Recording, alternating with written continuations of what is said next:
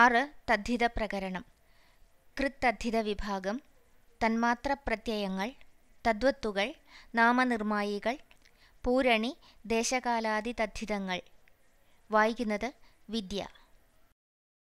സംസ്കൃത വൈയാകരണന്മാരുടെ രീതി അനുസരിച്ച് നാമങ്ങളിൽ നിന്നും വേദകങ്ങളിൽ നിന്നും വ്യുൽപാദിപ്പിക്കുന്ന ശബ്ദങ്ങൾക്ക് തദ്ധിതമെന്നും കൃതി പ്രകൃതികളായ ധാതുക്കളിൽ നിന്ന് വ്യുൽപാദിപ്പിക്കുന്നവയ്ക്ക് കൃത്ത് എന്നും സംജ്ഞകൾ സ്വീകരിച്ചിരിക്കുന്നു. സംസ്കൃതത്തിൽ കൃത്തദ്ധിതങ്ങൾ നാനാവിധങ്ങളായിട്ടുണ്ട്. തദ്ധിതങ്ങൾ ഒന്ന് ദശരഥന്റെ പുത്രൻ. ദാശരഥി. രണ്ട് സ്വർണം കൊണ്ടുണ്ടാക്കിയത്. സ്വർണമയം. മൂന്ന് വർഷത്തിൽ ഭവിക്കുന്നത്. വാർഷികം. ബുദ്ധിയുള്ളവൻ. ബുദ്ധിമാൻ. അഞ്ച് മൃദുവായിരിക്കുന്നത് മൃദുത്വം. ആറ് വ്യാകരണമറിയുന്നവൻ വൈയാകരണൻ ഇത്യാദി. ആറ് വ്യാകരണമറിയുന്നവൻ വൈയാകരണൻ ഇത്യാദി. കൃത്തുക്കൾ ഒന്ന് ദർശിക്കപ്പെടാവുന്നത് ദൃശ്യം. രണ്ട് ദർശിക്കുന്നവൻ ദ്രഷ്ടാവ്. മൂന്ന് ഏതുകൊണ്ട് ദർശിക്കുന്നുവോ അത് ദൃഷ്ടി. നാല് ദർശിക്കുന്ന ക്രിയ ദർശനം. അഞ്ച്. ദർശിക്കുക ശീലമുള്ളവൻ. ദർശി. ഇത്യാദി. ഭാഷയിൽ കൃത്തദ്ധിതങ്ങൾ വളരെ കുറവാണ്. പോരാത്തതെല്ലാം സംസ്കൃതത്തിൽ നിന്നും കടം വാങ്ങുകയാണ് പതിവ്. അതിനാൽ സംസ്കൃത സമ്പ്രദായം ഭാഷയിലും അനുസരിക്കേണ്ടിയിരിക്കുന്നു. എന്നാൽ പാണിനി തദ്ധിതത്തിൽ അവസാനം കൂടാതെ അർത്ഥങ്ങളെയും പ്രത്യയങ്ങളെയും വിധിച്ച് വലിയ കുഴപ്പം ഉണ്ടാക്കി തീർത്തിട്ടുണ്ട് തദ്ധിത മൂഢാ വൈയാകരണ എന്നൊരു വചനം തന്നെ പറയാറുണ്ട്.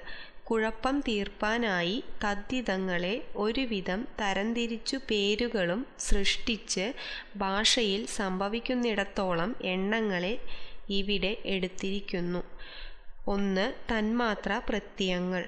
അനേകം ധർമ്മങ്ങളുടെ ഇരിപ്പിടമായ ഒരു ധർമ്മി അതായത് ദ്രവ്യത്തിൽ നിന്ന് ഒരു ധർമ്മത്തിൽ ഉൾപ്പെട്ട അംശങ്ങളെ തിരഞ്ഞെടുത്തു കൂട്ടത്തിൽ നിന്ന് വേർപെടുത്തി തൂത്തു പിടിച്ച് ഒറ്റയാക്കി കാണിക്കുന്നതിന് തന്മാത്രം എന്ന് പേർ. അതുമാത്രം സമം തന്മാത്രം എന്ന പേരും അന്വർത്ഥമാകുന്നു. രാമൻ സുന്ദരനാണെന്നിരിക്കട്ടെ. അവനെ സുന്ദരനെന്നു വിളിക്കുന്നത് അവന്റെ അംഗങ്ങളുടെ കിടപ്പിലുള്ള ചില വിശേഷങ്ങളാലാകുന്നു ഈ വിശേഷങ്ങളുടെ ആകെ തുക എടുത്താൽ അത് സൗന്ദര്യ ശബ്ദത്തിന്റെ അർത്ഥം തന്നെ. അപ്പോൾ സൗന്ദര്യം എന്നാൽ സുന്ദരനാകുന്നതിലേക്ക് വേണ്ട സകല എണ്ണങ്ങളും കൂടിച്ചേർന്നത് എന്നാണ് അർത്ഥമാകുന്നത്. എന്നാൽ ഈ എണ്ണങ്ങൾ മാത്രമായി ഒരിടത്തും കാണാൻ പ്രയാസം. ഒരു ദ്രവ്യത്തിൽ മറ്റു ധർമ്മങ്ങളോട് ചേർന്നേ ഇവയ്ക്ക് നിൽപ്പാൻ ഗതിയുള്ളൂ. അതിനാൽ സൗന്ദര്യ ശബ്ദം ചെയ്യുന്നത് സുന്ദരനിലുള്ള വണ്ണം നീളം നിറം പൊക്കം മുതലായ ഉപാധികളെ ഗൗനിക്കാതെ സുന്ദര ശബ്ദത്തിന്റെ പ്രവൃത്തി നിമിത്തമായ ഒരു ധർമ്മത്തെ മാത്രം ചൂണ്ടുകയാകുന്നു. സൗന്ദര്യം ഇങ്ങനെ തന്മാത്ര തത്തിതമായി തീരുന്നു സുന്ദരൻ ധർമ്മി സൗന്ദര്യം ധർമ്മം. ഇവയെ ഗുണി എന്നും ഗുണമെന്നും വ്യവഹരിക്കാറുണ്ട്. ഈ വക രൂപം സംസ്കൃതത്തിൽ വളരെ സാധാരണമാണ്. ഓരോ ധർമ്മിക്കും തന്റെ ധർമ്മവാചകം അല്ലെങ്കിൽ തന്മാത്ര രൂപം ഉണ്ട്. ഘടത്വം പടത്വം എന്നും മാത്രമല്ല ഘടത്വത്വം പടത്വത്വം കൂടി താർക്കികന്മാർ സ്വീകരിക്കുന്നു. എന്നുവേണ്ട ഭാഷയിൽ ധർമ്മിക്കൊത്ത ധർമ്മമോ ധർമ്മത്തിനൊത്ത ധർമ്മിയോ ഇല്ലെന്നു വരുന്നത് അപൂർവമല്ല. ഉദാഹരണം പ്രകൃതി പുതു ധർമ്മം പുതുമ ധർമ്മി പുതിയ. രണ്ട് അഴക് ധർമ്മം ധർമ്മി അഴകിയ. മൂന്ന് ധർമ്മം വടിവ്. തൊണ്ണൂറ്റി ഒന്ന് ഭേദകാർത്ഥ പ്രകൃതിയിൽ മ തന്മാത്രാഖ്യാതദ്ധിതം ശേഷത്തിൽ തം യഥായോഗം പിന്നെ താനതരാദിയും ഗുണവാചകങ്ങളായ ശബ്ദങ്ങളാണല്ലോ ഭേദകങ്ങൾ.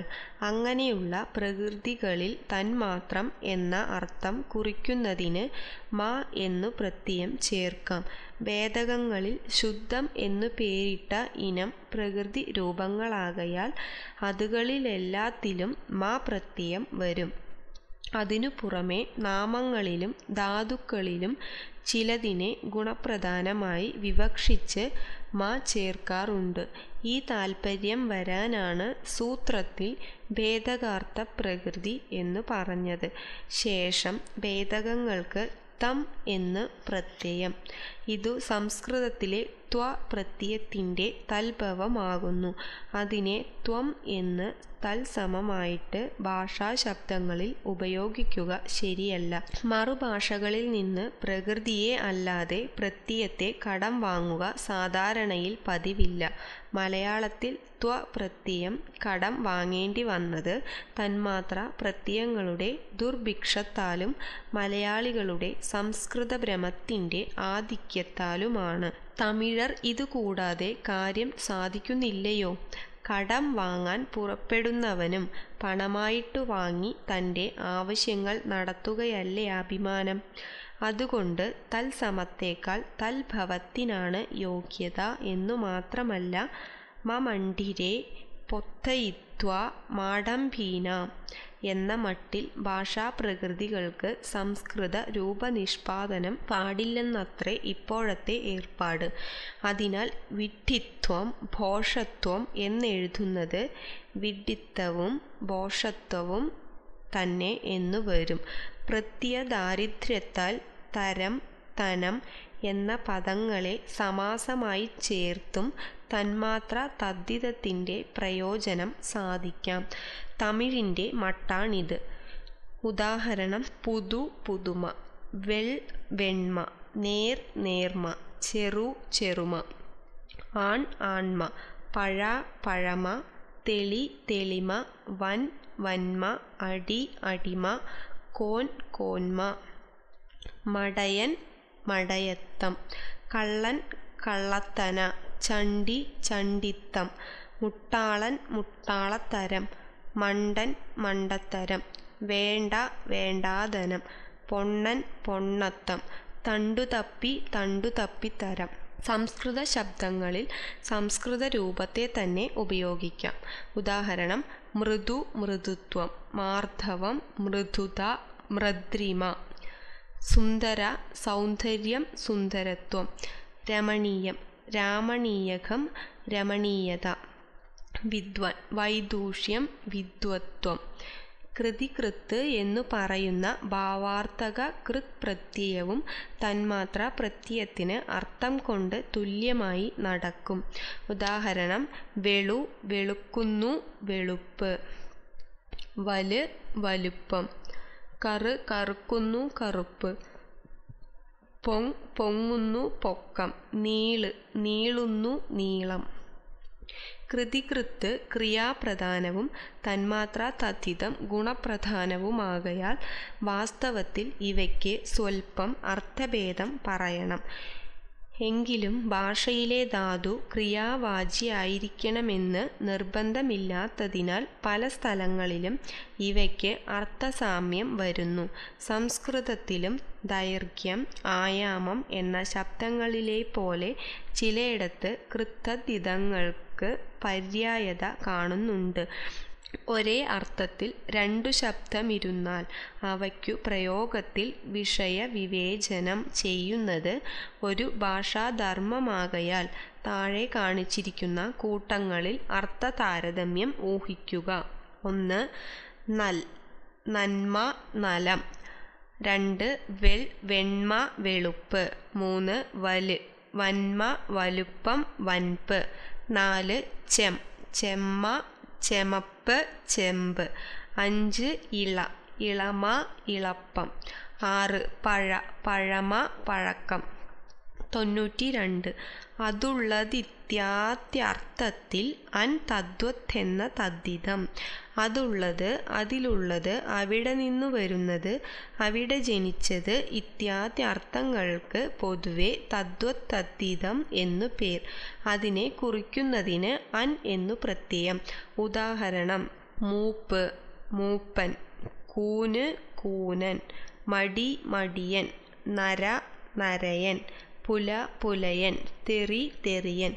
ഈ അൻ ലിംഗപ്രത്യയം തന്നെ ആയിരിക്കണം. തമിഴിൽ ആൻ എന്നതും ഈ സ്ഥാനത്ത് കാണുന്നുണ്ട്.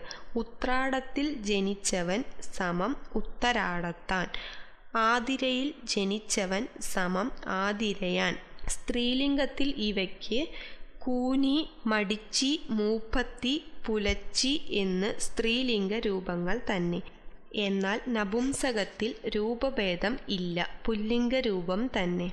കോട്ടാറൻ ചരക്ക്. നാലുകാതൻ ചരക്ക്. കിഴക്കൻ കാറ്റ്. കരയൻ മുണ്ട്. ആലങ്ങാടൻ ശർക്കര. പരുന്തുവാലൻ ഓടി. തെക്കൻ ഭാഷ. ആനക്കൊമ്പൻ അരി. ധനി ധനവാൻ ധനികൻ ഇത്യാദി സംസ്കൃതത്തിലെ തദ്വത്തുകൾ അൽപിയസ് അൽപിഷ്ടം മൃദുതരം മൃദുതമം എന്ന അതിശായന തദ്ധിതം ഭാഷയിലില്ല.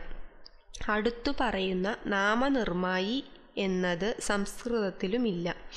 തൊണ്ണൂറ്റി മൂന്ന് അനൾത്തുവെന്ന ലിംഗം താൻ നാമനിർമായി തദ്ധിതം നാമാങ്കാതാരിക ആവാസ സംബന്ധികകൾ മൂന്നിലും. അൻ അൾ തു എന്ന ലിംഗപ്രത്യയങ്ങൾ തന്നെ പേരച്ചം ആധാരിക ആഭാസം സംബന്ധിക വിഭക്തി ഇതുകളിൽ ചേർന്ന് അവയെ നാമങ്ങളാക്കി തീർക്കും. ഈ തദ്ധിതത്തിന് നാമനിർമായി എന്ന് പേർ പേരച്ചങ്ങളിൽ ആ അധികം അൻ സമം അവൻ. ആ അധികം അൾ സമം അവൾ എന്ന രൂപങ്ങളെ മിക്ക ദിക്കിലും ഓൻ ഓൾ എന്ന് സങ്കോചിപ്പിക്കാറുണ്ട്. ഉദാഹരണം ഭൂതപേരച്ചം. കണ്ട കണ്ടവൻ കണ്ടവൾ കണ്ടത് കണ്ടതു. കണ്ടോൻ കണ്ടോൾ കണ്ടോർ. ഭാവി പേരച്ചം കാൺമു. കാൺമവൻ കാൺമവൾ കാൺമവർ കാൺമത്. കാൺമോൻ കാൺമോൾ കാൺമോർ. ഭാവി പേരച്ചം ഇരിപ്പു. ഇരിപ്പവൻ ഇരിപ്പവൾ ഇരിപ്പവർ ഇരിപ്പത്. ഇരിപ്പോൻ ഇരിപ്പോൾ ഇരിപ്പോർ. ഭാവി പേരച്ചം ചൊല്ലും. ചൊല്ലുവവൻ ചൊല്ലുവവൾ ചൊല്ലുവവർ ചൊല്ലുവത്. ചൊല്ലുവോൻ ചൊല്ലുവോൾ ചൊല്ലുവോർ. വർത്തമാന പേരച്ചം കാണുന്ന. കാണുന്നവൻ കാണുന്നവൾ കാണുന്നവർ കാണുന്നത്. കാണുന്നോൻ കാണുന്നോൾ കാണുന്നോർ. സ്വാർത്ഥം പുതിയ പുതിയവൻ പുതിയവൾ പുതിയവർ പുതിയത്. പുതിയോൻ പുതിയോൾ പുതിയോർ. സംബന്ധിക എന്റെ എന്റേവൻ എന്റേവൾ എന്റേത് ആധാരിക ആഭാസം ഇന്നത്തെ ഇന്നത്തേവൻ ഇന്നത്തേവൾ ഇന്നത്തേത്. ഈ തൊണ്ണൂറ്റിനാല്. സംഖ്യാനാമത്തിലാമെന്നു വരും പൂരണി തദ്ധിതം. സംഖ്യാവാചികളായ നാമങ്ങളിൽ അതിനെ പൂരിപ്പിക്കുന്ന എന്ന അർത്ഥത്തിൽ ആം പ്രത്യയം വരും. ഇതിന് പൂരണി എന്നു പേർ. ഉദാഹരണം ഒന്ന് ഒന്നാം രണ്ട് രണ്ടാം നൂറ് നൂറാം. ഈ ആം ആകും എന്ന ഭാവി പേരച്ചത്തിന്റെ സങ്കോചിത രൂപം തന്നെ എന്നു സ്പഷ്ടമാകുന്നു. പുല്ലിംഗ വിവക്ഷയിൽ ഇതിൽ അൻ ചേർത്ത് ഒന്നാമൻ രണ്ടാമൻ എന്നു രൂപങ്ങൾ ചെയ്യാം. എന്നാൽ സ്ത്രീലിംഗത്തിൽ ഒന്നാമി രണ്ടാമി എന്നു പറയാറില്ല. അത്തു അധികം എ എന്നു വിഭക്തി ആവാസം ചേർത്ത് ഒന്നാമത്തെ എന്നു രൂപം സമ്പാദിച്ചതിനുമേൽ അതിൽ അടുത്തു മുൻ കാണിച്ച നാമനിർമായി തദ്ധിതം കൊണ്ട് ഒന്നാമത്തേവൻ ഒന്നാമത്തേവൾ ഒന്നാമത്തേതു എന്ന് വളച്ചു കെട്ടിയുണ്ടാക്കുന്ന രൂപം മാത്രമേ സ്ത്രീലിംഗത്തിൽ ഉപയോഗിക്കാറുള്ളൂ. ഇനി ചുട്ടെഴുത്തുകൾക്ക് പ്രത്യേകമുള്ള ചില തദ്ധിത രൂപങ്ങളെ കാണിക്കുന്നു. തൊണ്ണൂറ്റി അഞ്ച് ദേശകാല പ്രമാണാർത്ഥം കാട്ടാന ഇ എ മൂന്നിലും വരും തദ്ധിത രൂപങ്ങൾ അങ്ങന്നത്ര കണക്കിന്. ആ ഇ എ എന്ന സർവനാമങ്ങൾക്ക് ദേശമർത്ഥത്തിൽ ങ് എന്നും കാലമർത്ഥത്തിൽ ന് എന്നും പ്രമാണം. അർത്ഥത്തിൽ ത്ര എന്നും തദ്ധിതങ്ങൾ. അങ്ങ് അന്ന് അത്ര. ഇങ്ങ് ഇന്ന് ഇത്ര. എങ്ങ് എന്ന് എത്ര. കു പ്രത്യയത്തിൽ അനുനാസികം ചേർന്ന് അങ്കു സമം അങ്ങു എന്നും റു പ്രത്യയത്തിൽ അനുനാസികം ചേർന്ന് അൻറു സമം അന്നു എന്നും തിര അതായത് മാത്ര എന്ന ശബ്ദം ദുഷിച്ച് അത്ര എന്നും രൂപം ഉണ്ടാകുന്നു. പഴയ മലയാളത്തിൽ അത്തിര ഇത്തിര എത്തിര എന്ന് പൂർണ രൂപം തന്നെ നടപ്പായിരുന്നു. ഘനം സമം പ്രകാരം എന്ന തമിഴ് ശബ്ദത്തിൽ എ എന്ന നിപാതം ചേർത്ത് അങ്ങനെ ഇങ്ങനെ എങ്ങനെ എന്ന രൂപങ്ങൾ ഉണ്ടായി. പൊഴുതു അതായത് കാലം എന്ന ശബ്ദത്തിലെ തു ലോപിപ്പിക്കുമ്പോൾ അപ്പോൾ ഇപ്പോൾ എപ്പോൾ എന്നു രൂപങ്ങൾ സിദ്ധിക്കുന്നു.